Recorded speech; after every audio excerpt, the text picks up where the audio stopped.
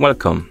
In front of me I have Garmin Forerunner 265 and I'm gonna show you how to enable and how to disable the power saving mode on this watch.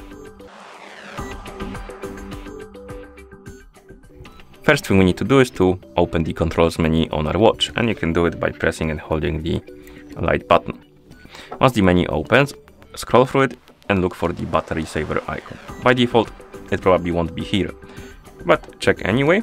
And if you can't find it, press and hold the up button, then tap on add controls and scroll down and look for the battery saver icon. Once you find it, tap on it to add it. Then you can go back to the controls menu.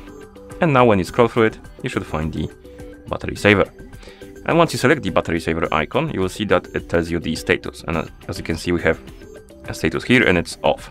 Also, it gives you the estimation of the battery life. And if you want to enable the power saving mode, select this icon and tap on it or press start button and the mode will be enabled.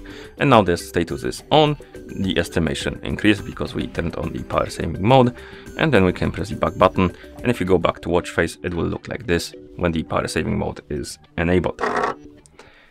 And to disable the mode, open the controls menu again,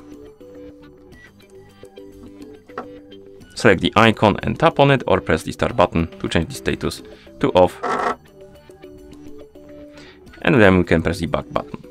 You can also do this uh, through the settings. So if you're on the home screen, you can press and hold the up button to open the menu, scroll through the menu, find the system option and select it.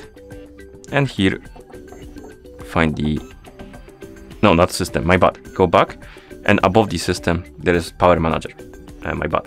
And you can tap on it and here, I entered the navigation somehow, not the power manager. Okay, and here we can turn on the, uh, the power saving mode and turn it off by tapping on the status. You can also enable and disable some options like battery percentage and stuff like that and battery estimates. And once you're done, you can press the back button to go back to watch face. And that's how you enable and how you disable the power saving mode on this watch. Thank you for watching.